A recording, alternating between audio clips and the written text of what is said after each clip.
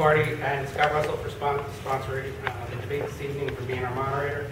Growing, in growing up in Montville, seeing the changes, having dedicated more than half my life to serving our town through the police department and all my other uh, uh, volunteer activities, I believe I'm uniquely qualified to serve on the township committee. I'll bring a fresh perspective to the committee.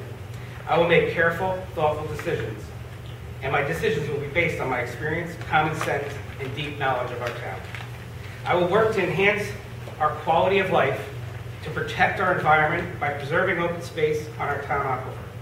I will, I will maintain fiscal responsibility in our town and work to preserve the culture and the historical uh, heritage in our town. We need to make sure everybody's working together. It's what I've said in the primary, and now I'll say it again in the general. I will promote a sense of community and stress greater volunteerism. I'm proud to call Montville home, not only for my family, but for also my business. It was amazing to me what I learned walking door to door, both in the primary and now in the general election. I've gained a better understanding on the issues that matter most to the Montville residents. I'm a retired police officer for over 20 years of service. I still continue to work with the Police Explorer program in town. I will be a new generation on the township committee, and I will bring a new, fresh perspective to the issues before them. I'm an owner of a small business in town, Metro Pet Supply, and a part-time real estate person. And I do these out of my love for Montville. Our township has a great foundation, which I want to help maintain and build on and make it even better.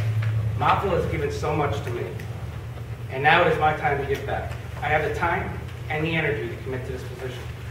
I have always been guided by one principle, whether it was on the fire department, first aid squad, or in the police department, and that is, my goal was helping others. That was always my life goal. Working together, I'm convinced we'll make Montville a better place to call home.